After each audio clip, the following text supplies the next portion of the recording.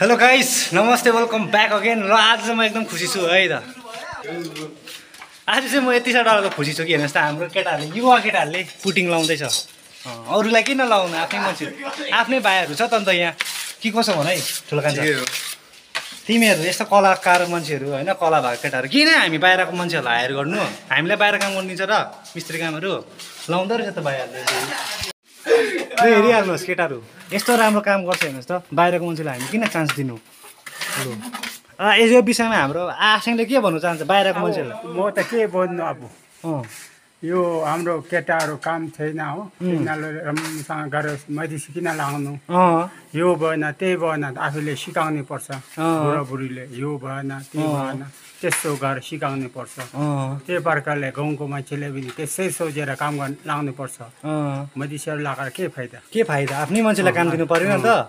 आफ्नो मान्छे नेपाली भइहरू। काम दिनु पऱ्यो गर्नु पऱ्यो मेरो मेरोबाट बोल्नु यति नै हो। यति नै हो है। धन्यवाद। आसिङको नाम चाहिँ के पर्यो? पासाङ। पासाङ के हो? पासाङ शेर्पा। पासाङ शेर्पा है। ठिक छ। आसिङको घर बनाउँदा कसरी दिँदैछ यिनीहरूलाई रोस आसिङ अब यिनीहरूलाई रोज चार सौ। खाएर त्यो पनि? अँ अब अलिअलि खाजा पिजा अन्त लु हेर्नुहोस् त लु। ल हेरिहाल्नुहोस् केटाहरूको काम। देख्नुभयो होला। यति दामी लाउँदो रहेछ। आशा गर्छु तपाईँहरूले अब दिन है हाम्रो गाउँको जे पनि काम कुरोहरू हुन्छ प्लिज तपाईँहरूले बाहिरको मान्छेले नलाइदिनुहोस्। मैले यो मेरो कुरा चाहिँ एकदम एकपट्टि खालि भयो होइन।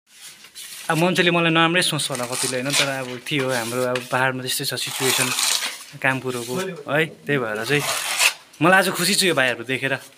ल भाइ तिमीहरूले मलाई देखेर खुसी छ? म चाहिँ तिमीहरूलाई देखेर खुसी छु। मलाई देखेर खुसी छ।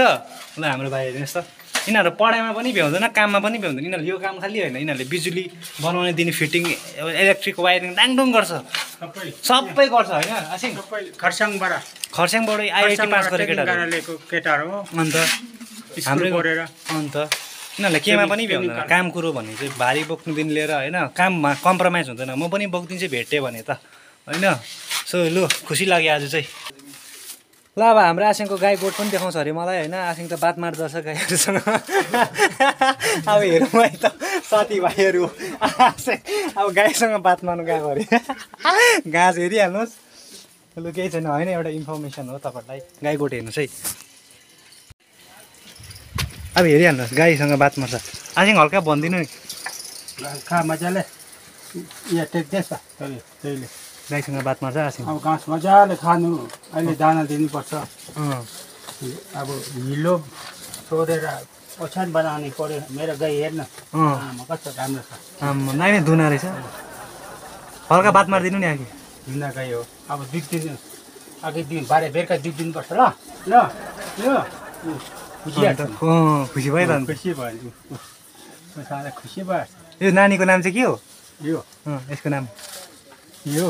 डोल्ले हो डोल्ले डल्ले हो डल्ले डोल्ले रातो यसले घाँस दाना बेलुका दिन्छ नि के गर्छ यसले चुप्लाएर बस्छ होला ए मजाले खान्छ नि है दाना मजाले खान्छ अन्त बाख्रा पनि रहेछ आसिङ बख्रा छ ऊ अन्त बाख्राहरू पनि छ हेर्नुहोस् त लु आम्मा। लु आसिङ आउनु बाहिर आसिङको गोठ दामी लाग्यो आसिङ अरू के छ अरू देखाउने चिजहरू म बिहान उठेर मुखसुख दिन्छ आगो फुक्छ त्यहाँदेखि धुपबत्ती गर्छ सँगैले डोक्छ त्यहाँदेखि आयो गोबर सोऱ्यो। त्यहाँदेखि पानी तात तातेपछि गाईको थुनसुन सबै सफा गरेर दुध दिन्छ त्यहाँ दुध दुध ठिका लान्छ। त्यहाँदेखि फर्केर आएपछि खाजासाजा खायो। अँ। फेरि घाँसमा जानु पऱ्यो। काट्नु पऱ्यो। बेलुका फेरि। सफा है। ठिकै छ हेर्नुहोस् है हामीले छु बिर्सिसक्यौँ है घाँसहरू काट्नुलाई गाई गोबर छोड्नुलाई हामीले यो चिजहरू छोड्नु हुँदैन आज आसिङको माध्यमबाट म भन्दैछु होइन? यसमा कुनै नराम्रो उयो छैन। आसिङले गाई गोरुहरू पाल्नुहुन्छ है? यो भन्दा राम्रो गोठ देख्दै खुसी लाग्छ। अब यो अब यस्तो हुनु पऱ्यो है हाम्रो गाई गोठहरू। मान्छेले छोड्दै गयो।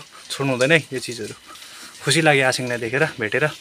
यहाँ हाम्रो युथ भाइहरू हो है काम भाइ धेरै खुसी लाग्यो तिमीहरूलाई देखेर होइन? यसरी काम गर्दै लानु। नलजाउनु भाइ कुनै काममा पनि नो कम्प्रोमाइज नलजाउनु पनि पढेको छु भनेर कहिले लाज नमान्नु। पढ्नु त म पनि पढेको तिमी पनि पढेको होइन? काममा चाहिँ नो कम्प्रोमाइज है। होइन? चोरेर खानु हुँदैन होइन? ढाँटेर चाहिँ खानु हुँदैन कि? You can do any kind of works क्या?